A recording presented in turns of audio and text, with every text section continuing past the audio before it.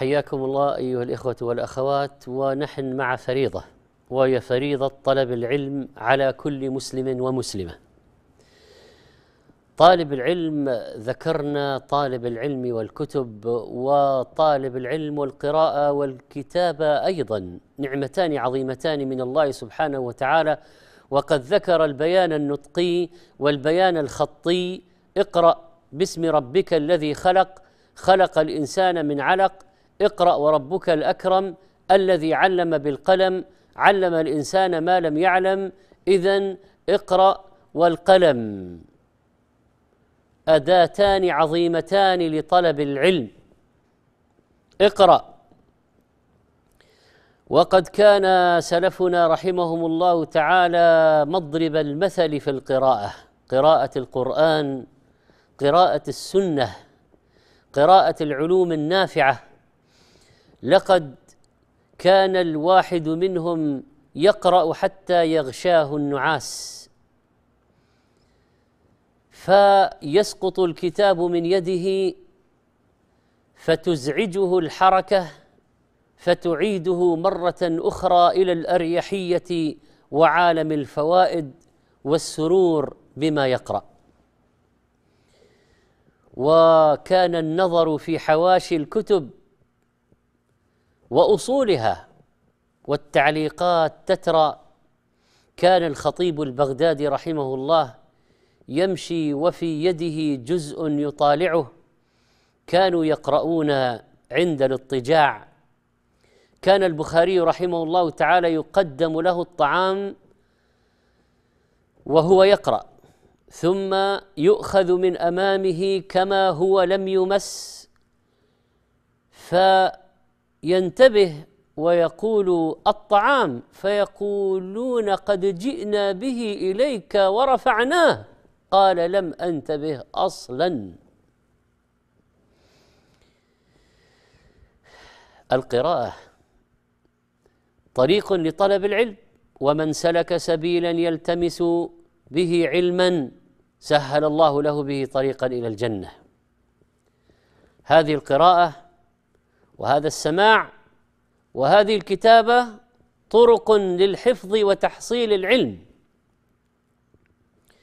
سبعون في المئة من المعلومات ترد للإنسان عن طريق القراءة والباقي بالبحث والسؤال والتأمل والاستماع والاستنتاج والتجربة. القراءة غذاء للعقول والأرواح كما أن الطعام غذاء للأبدان. قراءة طالب العلم تريح روحه وتجعلها تتجول في بساتين العلم وحدائقه الغناء. القراءة تكوين لشخصية المسلم إذا كانت في مصادر موثوقة. القراءة التي تضيف إلى عمر الإنسان أعمارا أخرى فهو يأخذ خلاصات من الاستنتاجات والتجارب والاستنباطات لأهل العلم يطلع على تاريخ السابقين وأحوال المعاصرين إن القراءة نوافذ تطل بها يا مسلم على العالم الفسيح. ولكن كيف نقرأ؟ وماذا نقرأ؟ ولماذا نقرأ؟ ومتى نقرأ؟ وأين نقرأ؟ دور الأسئلة على القراءة. ليتضح لك أن القراءة لله اخلاصا لوجهه ولتعلم دينه كما أمرنا. وأما كيف وماذا نقرأ فلا بد من قراءة الموثوق والبداية في المرحلة الأولية في عالم التأسيس. لتكون وعيا وتشكل قاعدة صلبة تقاوم الشبهات والشكوك والضلالات والانحرافات. تؤسس الإيمان في قلبك تعزز عظمة الله في نفسك وتزيد من هذا الواعظ الرباني في عقلك وذهنك وقلبك. هذا هذه القراءة للقرآن للأدلة الشرعية والأحاديث النبوية لمعانيهما تفسيرا للقرآن وشرحا للسنة. وكذلك لأهل العلم الموثوقين فأنت تقرأ للبخاري ومسلم كما تقرأ لمالك والشافعي وأحمد وأبي حنيفة وتقرأ كذلك لهؤلاء العلماء العظماء كابن جرير وابن عبد البر والمنذري وابن المنذر والطبراني والطبري. وتقرأ كذلك لشيخ الإسلام ابن تيمية وابن حجر وابن عبد الهادي وابن كثير والذابي وابن القيم وابن رجب. تقرأ وتقرأ للعلماء الذين يسيرون على هذا المنوال. تقرأ في فقه الإمام الأعظم أبي حنيفة ولحافظ الأمة وفقيهها وأصوليها الشافعي. ولإمام دار الهجرة مالك الجامع بين الفقه والحديث رواية ودراية ولأحمد بن حنبل حافظ الدنيا وإمام زمانه والصابر في المحنة والذي جمع مئات الآلاف من الأحاديث ليقدم لك مستنده في سبعة وعشرين ألف حديث. القراءة الواعية ضرورية في العقيدة في التوحيد في مسائل الفقه ضرورية. حتى لا تقع في مشابهة كافر اتخذوا قبور أنبيائهم مساجد. حتى لا تقع فيما يخالف التوحيد. حتى لا تقع في البدع. حتى لا تقع في أخطاء في العبادات والمعاملات. حتى تقرأ حتى تسير على هدى من الله. تقرأ حتى تعرف أصول التربية. وكيف تتعامل مع أولادك ومع زوجتك. ويا أيتها الزوجه مع زوجك. كيف تتعامل مع الناس. كيف تبادلهم حتى المشاعر. تقرأ وتقرأ لتعرف أخبار إخوانك المسلمين.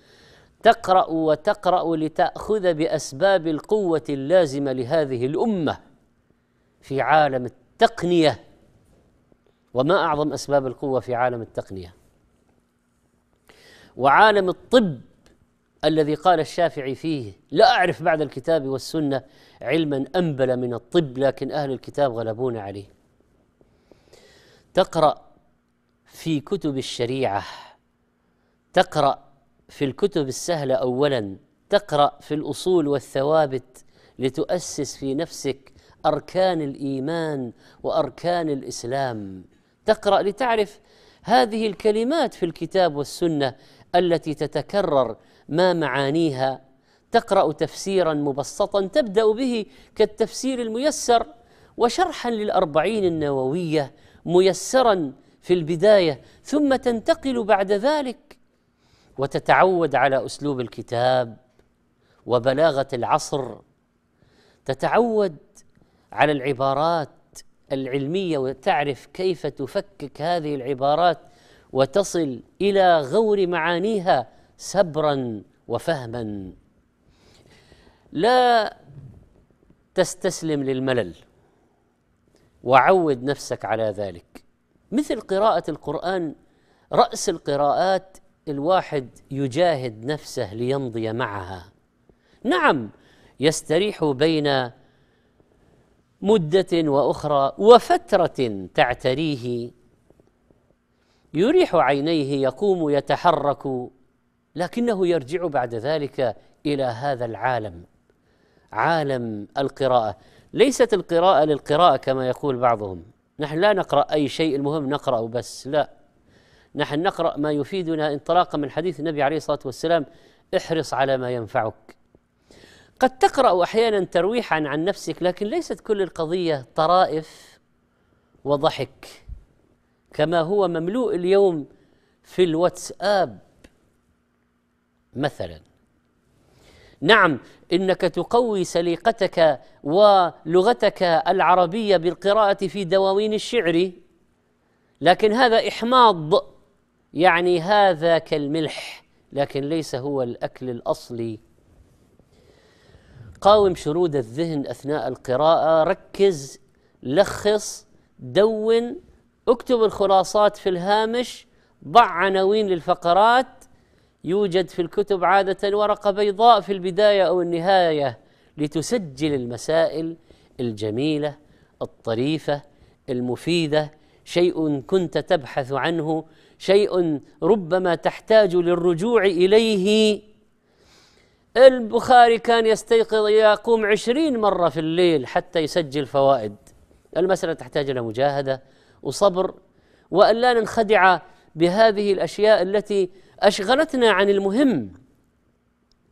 وتقرأ وأنت تسبح ربك حتى لو قرأت في عجائب المخلوقات. تقرأ. تقرأ وأنت تسعى لترسخ معاني الشرع في نفسك. مستعملا القلم أو مستعملا هذه التقنيات الحديثة اليوم في التلوين والتشكيل ووضع العلامات الإلكترونية. تقرأ لتستوعب. وتقوم وكتابك ثري بالتعليقات. لا يقدر بثمن. أنت تربط الجمل بالأفكار والهوامش بالأعلى وكذلك الحواشي وجانبا وأسفل. وأيضا فإنك ترقم الفقرات والنقاط والفوائد والقواعد وتكتب الأسئلة عما لم تفهمه لتحاول البحث فيه. وإذا استعنت بالكتاب الإلكتروني لتبحث فورا عن أشياء تجدها في الكتاب الورقي فنعم ما هي. حاول أن تجعل كتبك ثرية بتعليقات عليها وابحث عن صحة الحديث الذي يعرض لك. ولخص واختصر نسأل الله تعالى أن يجعلنا من الذين يستمعون القول فيتبعون أحسنه. اللهم علمنا ما ينفعنا وانفعنا